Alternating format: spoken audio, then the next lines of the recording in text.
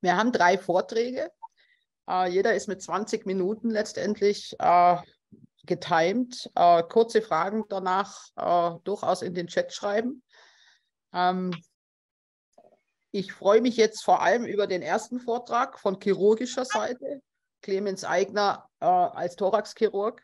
Das inoperable NSCLC, Definition, klinische Beispiele, Graubereiche. Warum freue ich mich besonders? Weil ich seit 25 Jahren ähm, verschiedene Entwicklungen und auch verschiedene Abteilungen erlebt habe, äh, was die Einschätzung einer Operabilität angeht. Und ich glaube, das ist nach wie vor ein äußerst spannendes Thema. Ich darf das Wort dem Clemens Eigner übergeben. Ja, vielen Dank für die äh, Einführung. Ich darf heute über ähm, das inoperabel eingeschätzte nicht kleinzellige Lungenkarzinom sprechen. Und ähm, aus chirurgischer Sicht spricht man natürlich immer lieber über die Operabilität als über die Inoperabilität. Aber ich werde versuchen, Ihnen ein bisschen darzulegen, was die relevanten Faktoren sind, auf die wir schauen und äh, die man in die Entscheidungsfindung mit äh, einbeziehen sollte. Ganz grundsätzlich ist es so, dass leider von den Lungenkarzinomen ja nach wie vor viel zu viele in einem fortgeschrittenen Stadium ähm, diagnostiziert werden, das nicht mehr kurativ angehbar ist. Und ich denke, ein guter Teil unserer Anstrengungen sollte auch dahin gehen, ähm, die Lungenkarzinome grundsätzlich in einem früheren Stadium zu ähm, erkennen, indem sie auch besser behandelbar sind, um die Gesamt fünf Jahresüberlebensraten auch entsprechend zu verbessern. Wenn man sich die äh, allseits bekannten Onkopedia-Leitlinien ansieht, so sieht man ja, dass grundsätzlich die Operation eigentlich ähm, in allen Stadien mit Ausnahme des wirklich multiple metastasierten Stadiums 4 im Wesentlichen eine Rolle spielt, wobei die Sequenz der Operation ähm, eine unterschiedliche ist natürlich in den frühen Stadien, wo primär die Operation ist. Um diese Stadien geht es heute weniger, sondern es geht um die fortgeschritteneren Stadien, wo dann multimodale Therapieoptionen in Frage kommen und die Operation dann auch häufig nach einer neoadjuvanten Therapie anzusiedeln ist. Was sind denn jetzt einmal grundsätzlich die Faktoren, auf die man achten muss, um die Operabilität äh, eines äh, Patienten beziehungsweise einer Patientin einzuschätzen? Der eine Punkt, auf den häufig am meisten geachtet wird, aber der bei weitem nicht der einzige ist, ist einmal die lokale technische Resektabilität. Da ist sicher bei äh, lokal fortgeschrittenen Tumoren die technische Expertise beziehungsweise das Equipment, das vorhanden ist, ein entscheidender Punkt. Dann gibt es Faktoren, wenn der Plexus oder der Esophagus infiltriert ist, dann wir, geben wir in der Regel von einer Inoperabilität aus bei der Trachea beziehungsweise beim Vorhof, wenn das ein limitierter Fall ist, kann die Situation schon, schon wieder anders aussehen. Und es gibt durchaus Situationen, in denen eine Operabilität gegeben sein kann. Ein zweiter ganz wichtiger Punkt, der bei lokal fortgeschrittenen äh, Tumoren in Frage kommt, nicht alles, was technisch machbar ist, ist auch onkologisch sinnhaft. Also es muss natürlich äh, ein Benefit durch die Operation erwartbar sein im Sinne eines bestmöglichen Stagings ähm, und im Sinne einer Festlegung der potenziellen Operabilität auch vor Therapiebeginn, vor, nämlich vor jeglicher Therapie, ähm, um eine klare Idee der Therapiesequenz bereits zu am Anfang äh, der Behandlung zu haben. Und last but not least natürlich ist die funktionelle Operabilität ein relevanter Punkt, sowohl die lungenfunktionelle Reserve als auch kardiale Operabilität beziehungsweise Komorbiditäten sind dabei relevante Punkte. Ich möchte jetzt in meinem Vortrag auf diese einzelnen Punkte der Reihe nach etwas im Detail eingehen und äh, Ihnen schildern, was da relevante Faktoren sind. Und zunächst einmal mit der Resektabilität beginnen.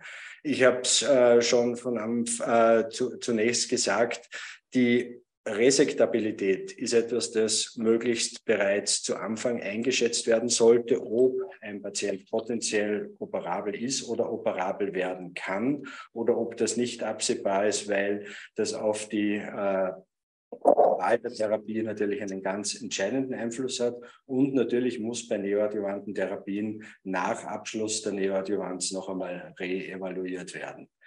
Ähm, Situationen, wo die technische Resektabilität grenzwertig sein kann oder wo es äh, essentiell sein kann, das gut einzuschätzen, sind äh, klassische Situationen wie Penkos-Tumore, Thoraxwandinfiltration, Infiltration des Mediastinums oder auch der Luftwege, auf die ich ein bisschen im Detail eingehen möchte.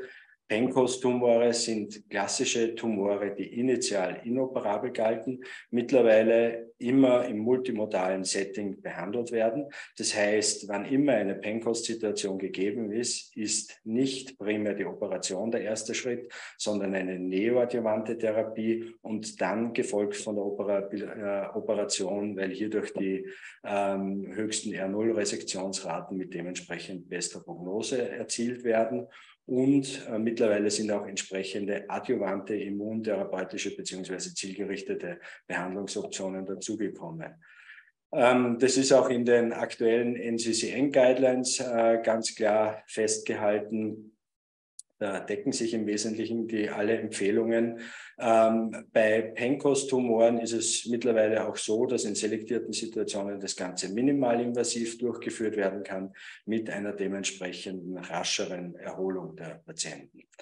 Thoraxwandinfiltration ist etwas, wo die Entscheidung, ob das primär operiert wird oder ob da zunächst eine Neoadjuvanz durchgeführt wird, etwas, das individuell letztlich beurteilt werden muss. Es gibt sowohl Daten wie hier eine äh, dargestellte spanische Studie, dass mit neoadjuvanter Chemostrahlentherapie, insbesondere wenn es dann Richtung Wirbelsäulennähe geht, sehr gute Ergebnisse erzielt werden können. Entscheidend ist hier immer die R0-Resektion.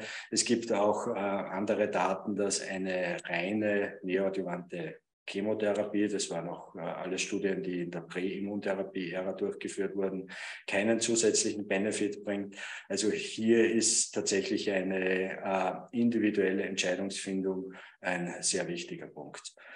Bei äh, Mediastinalinfiltration beziehungsweise Infiltration der zentralen Luftwege ist es in der Regel tatsächlich so, dass wann immer möglich eine primäre Operation bevorzugt werden sollte, weil insbesondere nach einer neoadjuvanten Chemostrahlentherapie einfach die Wundheilung, wenn irgendwelche Luftwegsanastomosen durchgeführt werden, potenziell beeinträchtigt sein kann.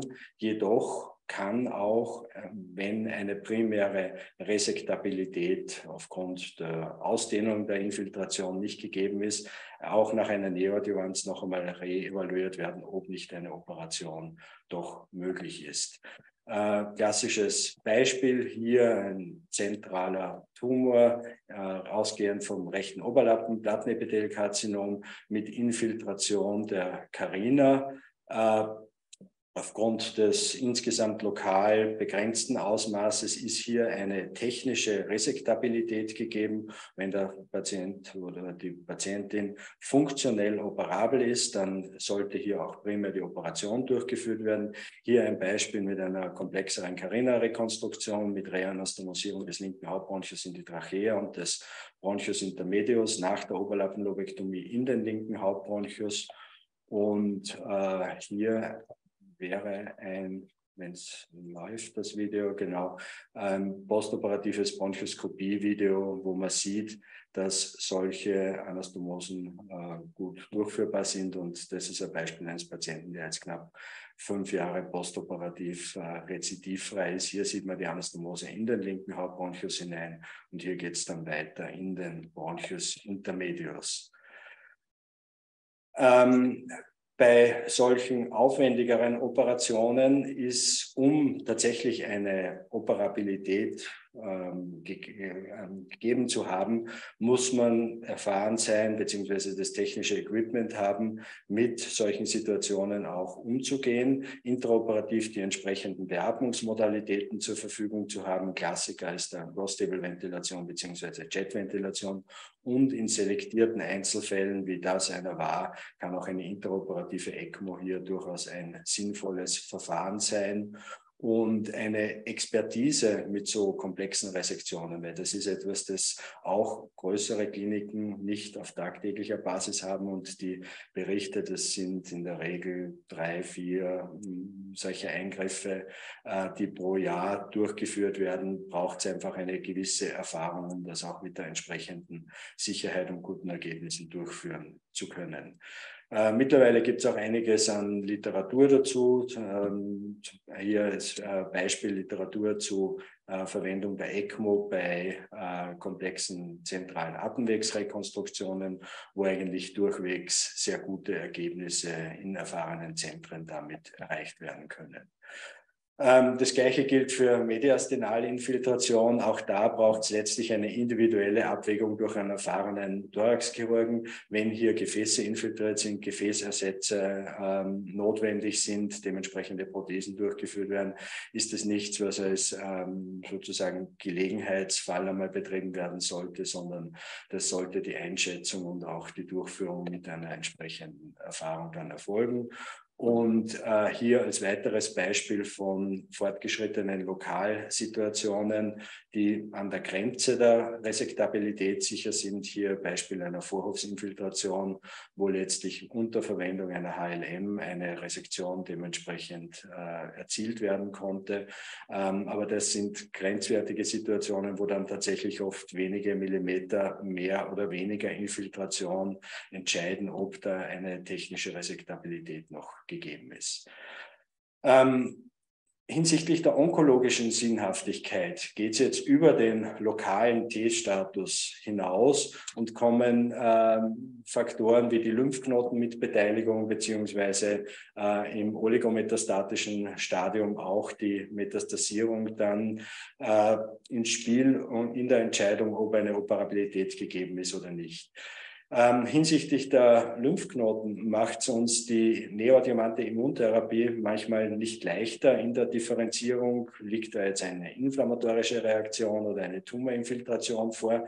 Werde ich nachher ein paar Beispiele zeigen. Und auch hinsichtlich der lokalen Resektabilität kann eine Lymphknoteninvasion in den Hilernstationen eine erweiterte Resektion notwendig machen, wenn da eine Infiltration der Luftwege gegeben ist oder im Mediastinalbereich auch einmal eine Resektion Situation sogar verunmöglichen. Ähm, grundsätzlich ist es so, ich möchte jetzt hier nicht die ganze Stadium 3 Diskussion runterbeten, sondern nur auf ein paar relevante Aspekte eingehen. Es ist nach wie vor so, dass auch im Rahmen von prospektiv randomisierten Studien, wo das optimale Staging durchgeführt wird, äh, letztlich es zwischen klinischen und pathologischen Staging in je nach Studie 10 bis fast 40 Prozent Unterschiede gibt, so dass auch das bestmögliche Staging keine hundertprozentige Sicherheit gibt, dass wir tatsächlich im äh, erwarteten Stadium sind und das muss man in die Entscheidungsfindung auch immer mit einbeziehen.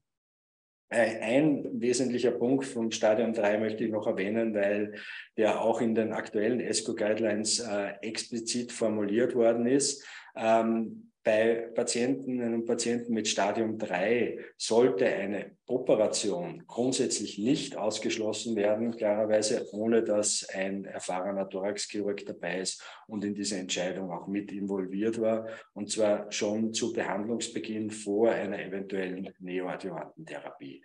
Was passieren kann, wenn das nicht der Fall ist, äh, glaube ich, sieht man da in der Checkmate-Studie ganz gut, wo ähm, nur ein Prozentsatz von 83 beziehungsweise 75 Prozent der Patienten, die eigentlich initial operabel eingeschätzt wurden, nach der Neoadjuvanz dann auch tatsächlich zur Operation gekommen ist.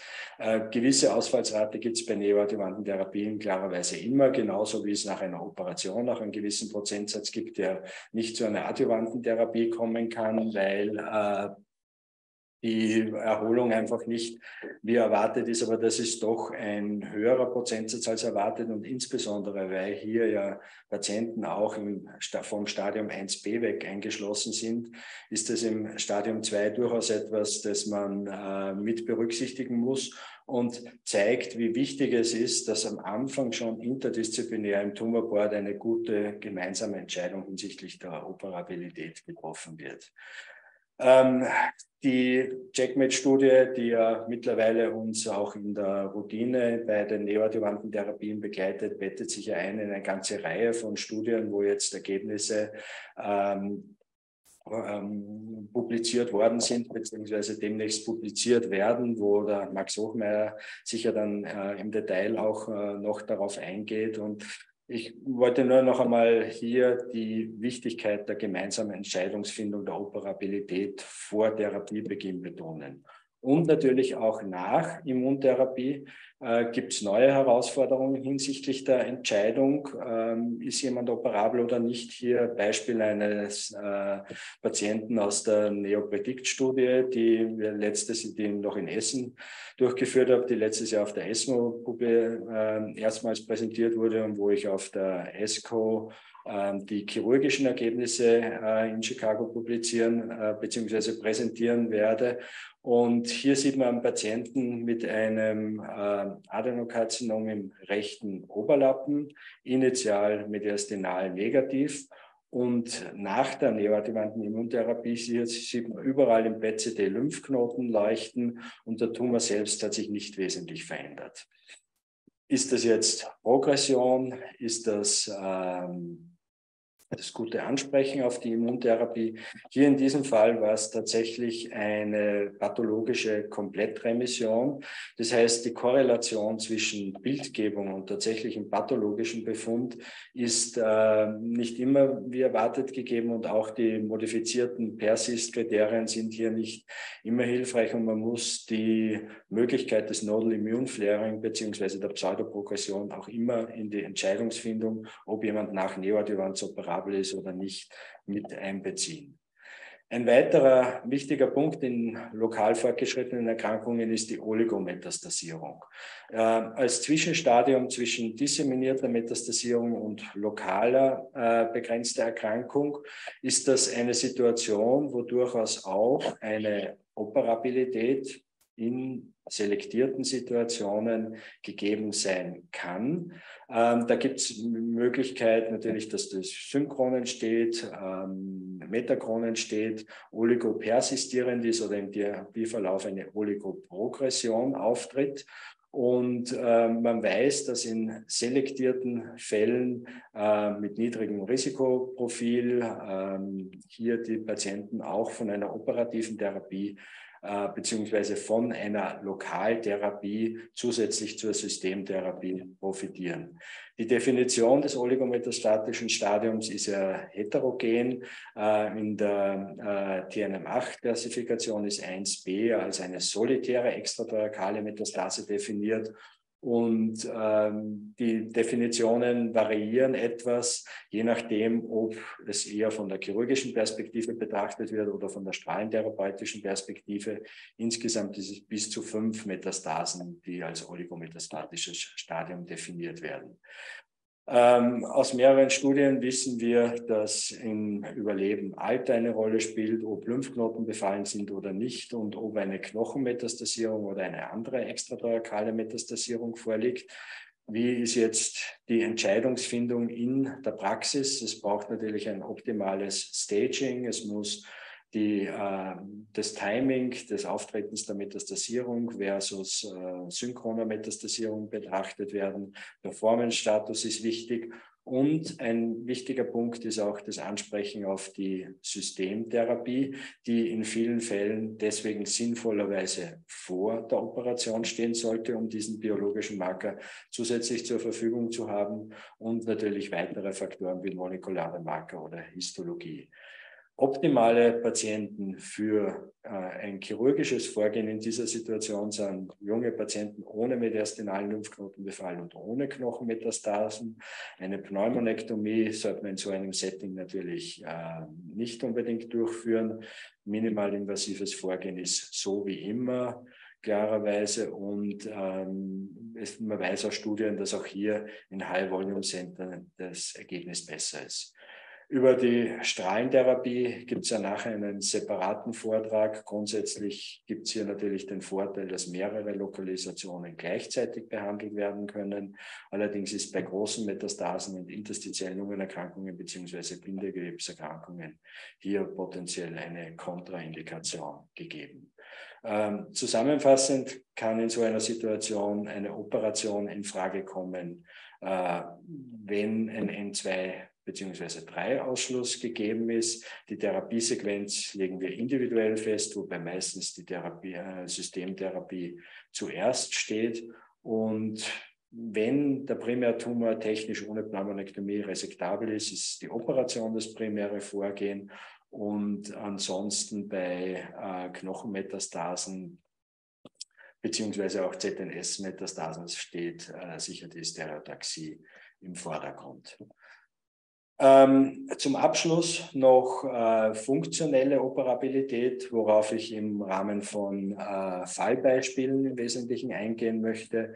Äh, hier Beispiel eines äh, Patienten mit initial die Carina infiltrierenden Tumor, ähm, wo die Entscheidung zu einer neoadjuvanten Therapie getroffen wurde. Hier rechts sieht man das Ansprechen, war nach einem Zyklus Pembrolizumab äh, extrem gutes Ansprechen und die Überlegung war dann, operiert man im initialen Tumorausmaß, kann man hier äh, im aktuellen Tumorausmaß bleiben, was natürlich bei funktionellen grenzwertigen Patienten manchmal dann die Entscheidung zwischen Operabilität oder Nicht-Operabilität bedeuten kann.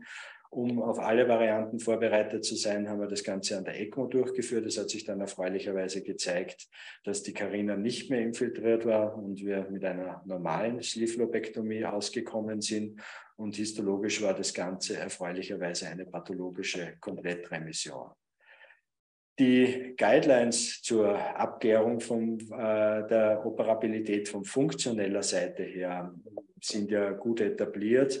Ähm, nur um noch einmal in Erinnerung zu rufen, wenn man solche Patienten mit schweren Emphysem hat, hier als Beispiel ein massiv unterlappenbetontes Emphysem mit einem Tumor im rechten Unterlappen, ist eine Patientin FFA1 von 30 Prozent.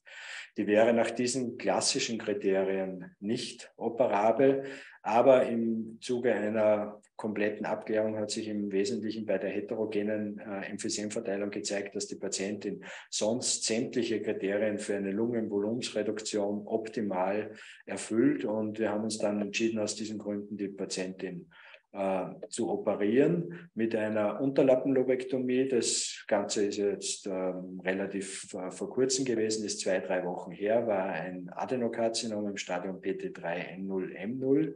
Ähm, die, das ist das Bild, mit dem die Patientin dann nach Hause gegangen ist. Der Sauerstoffbedarf ist von sechs Liter präoperativ auf zwei Liter postoperativ äh, gesunken. Wir haben jetzt natürlich noch keine lungenfunktionelle detaillierte Evaluierung, aber insgesamt hat neben der Tumorresektion die Patientin auch von der funktionellen Seite her eindeutig profitiert. Ein weiteres äh, Beispiel eines äh, Patienten, der ähm, bei uns operiert wurde, ist ein 65-jähriger Patient mit einem Adenokarzinom im initialen Stadium CT3N0M0 äh, mit einem bronchoskopischen Komplettverschluss des Oberlappenbronchus initial, war PDL1 20 Prozent positiv, ist primär einmal wahrscheinlich nur mit einer Pneumonektomie äh, lösbar, nachdem auch die Arterie infiltriert ist. Ähm, dementsprechend haben wir uns äh, von den Optionen, die hier zur Verfügung stehen. Mittlerweile hat man ja tatsächlich eine breite Palette an Möglichkeiten, aus denen man potenziell wählen kann, zu einer Induktions-Chemo-Immuntherapie entsprochen. Und äh, auch hier hat man bildgebend radiologisch ein sehr, sehr gutes Ansprechen gesehen, äh, wie man hier auf der rechten Seite im Bild sieht. Äh, endobronchial war tatsächlich ein beeindruckender Befund von einem Komplettverschluss, wie er initial hier links war, zu einem nahezu vollständigen Verschwinden des endobronchialen Tumoranteils, der hier tatsächlich kaum mehr zu sehen ist.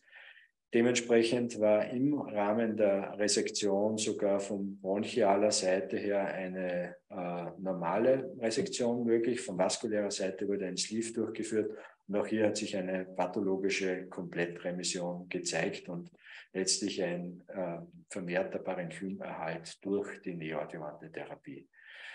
Zusammenfassend gibt es viele grenzwertige Situationen, ähm, sowohl hinsichtlich der lokalen technischen Resektabilität, hinsichtlich des Stagings des Tumors und auch der funktionellen Reserve. Und diese Faktoren müssen letztlich in der interdisziplinären Entscheidung über die Therapie äh, alle mit einbezogen werden. Neu dazugekommen ist sicher die Evaluation des Restagings nach neoadjuvanter Immuntherapie. Und äh, all diese Faktoren sollten unter Einbeziehung eines erfahrenen Thoraxchirurgen bzw. Thoraxchirurgin im Tumorboard berücksichtigt werden und die Entscheidung hinsichtlich der Operabilität getroffen werden. Vielen Dank. Ja, vielen Dank für die schöne Übersicht. Äh, tolle Bilder, tolle Fälle. Dann möchte ich eine Frage stellen. Ähm, am schwierigsten finde ich, ähm, sind ja die nodal positiven äh, Patienten, oder? Ähm, also die Diskussion, was ist N2 und damit operabel, finde ich, ist schwerer zu beantworten aus meiner Sicht ähm, als jetzt, sage ich mal, spezifische anatomische, sage ich mal, Zustände, die der Tumor zeigt. Ja, also an und für sich die ähm, Situation bei N2 Lymphknotenbefall ist eigentlich relativ klar. Ähm, wir stagen diese Patienten ja alle umfassend mit äh, Standard-Staging inklusive mediastinaler Abgärung. Und sofern das keine bulky mediastinale Erkrankung ist, ähm, ist mal potenziell eine Operabilität gegeben. Diese Patienten werden alle neoadjuvant vortherapiert. In der Regel machen wir das jetzt mittlerweile nach dem äh, Checkmate 816-Schema. Und wenn die Patientinnen und Patienten dementsprechend ansprechen, dann ist die Operation im zweiten Schritt geplant. Bei N3-Situationen, wo es ja auch einzelne Diskussionen gegeben hat, beziehungsweise einzelne selektierte Fallserien, ist in der Regel so, dass wir nicht operieren. Also das ist, äh, wenn dann einmal in ganz einer ausgerissenen Situation eine Individualentscheidung, aber N2 ist gleich neoadjuvante Vorbehandlung plus Operation im zweiten Schritt, äh, sowohl bei Single Station als auch Multistation in der, in der Regel. Außer es ist bulky, dann definitiv äh, Chemoradio nach dem Pacific-Schema. Ja, vielen Dank. Eine Frage hätte ich, wenn ich kurz darf. Äh, Clemens, du hast dieses Phänomen des Immunflares gezeigt und die Sinnhaftigkeit eines neuerlichen invasiven Stagings. Welche Methode ist aus eurer Erfahrung oder aus der Literatur heraus da besser? Gibt es da Unterschiede? Ist in der Situation der EBUS nach wie vor adäquat oder muss man diese Patienten dann mediastinoskopieren, um mehr Material zu gewinnen, um da eine exaktere Aussage treffen zu können? Ähm, also ich habe nicht gesagt, dass man diese Patienten restagen muss. Also das Beispiel, das ich gebracht habe, war aus der Neopredict-Studie, wo man tatsächlich 60 Patienten mit reiner neoadjuvanter Immuntherapie hatten und äh, die einfach systematisch alle zu Beginn der Behandlung und dann nach Abschluss der Neoadjuvanz mit einem PCD untersucht haben. Und wir haben dabei einfach gesehen, dass die Korrelation zwischen der Bildgebung und dem pathologischen tatsächlichen Ansprechen sehr bescheiden war, sagen wir mal so.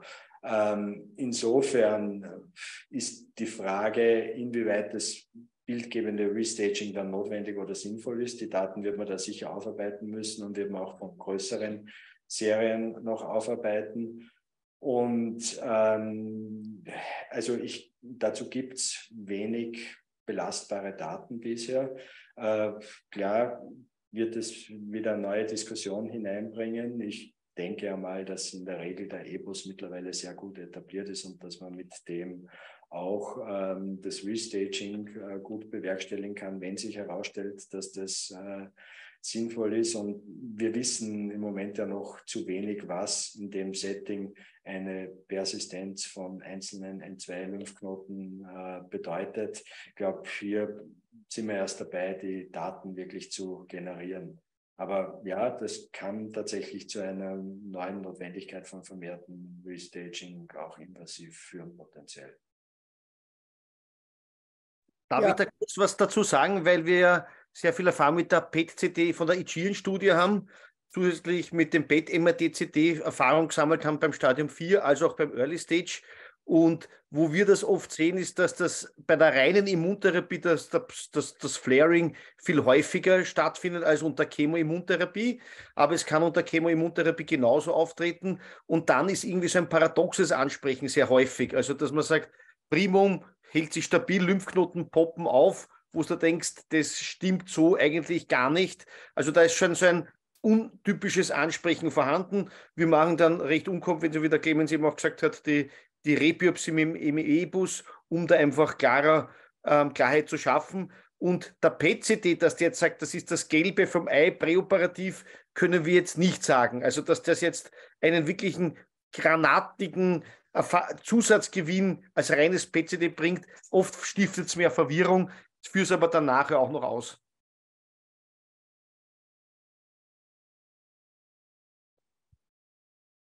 Ja, ich denke, wir müssen zum nächsten. Wir hätten sonst noch eine Frage aus dem Publikum.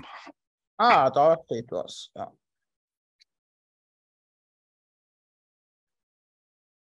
Florian Augustin, ist ein N2-Befall bei Oligometastasierung für dich eine absolute Kontraindikation für OP?